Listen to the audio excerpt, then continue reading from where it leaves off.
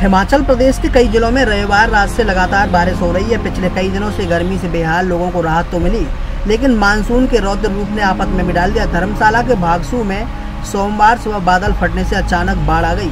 देखते ही देखते एक छोटे से नाले ने नदी का रूप धारण कर लिया। बाढ़ से बागासू का नाला ओवरफ्लो हो गया।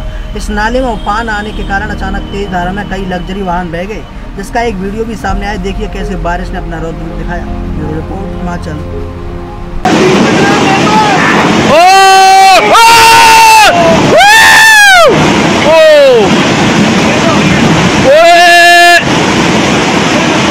गाड़ी नहीं आई अच्छा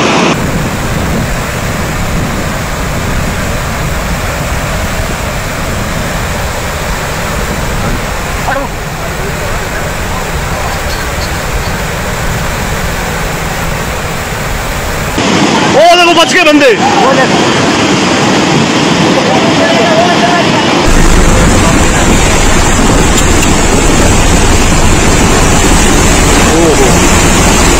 Agora olha o Diquinho.